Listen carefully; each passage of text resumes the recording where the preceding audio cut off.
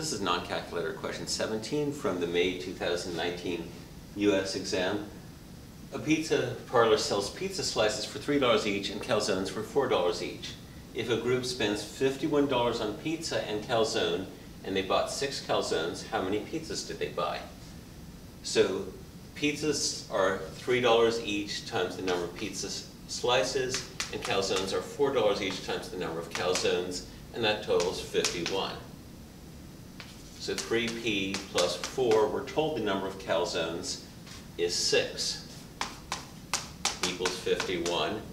3p plus 24 equals 51. If I subtract 24 from both sides, I get 3p by itself. 51 minus 24 is 27. Divide both sides by 3, and I get p equals 9. We bought 9 slices of pizza. And checking that, 9 times 3 is 27. 6 calzones times $4 per calzone is 24. 27 plus 24 is 4 plus 7 is 11, carry the 1.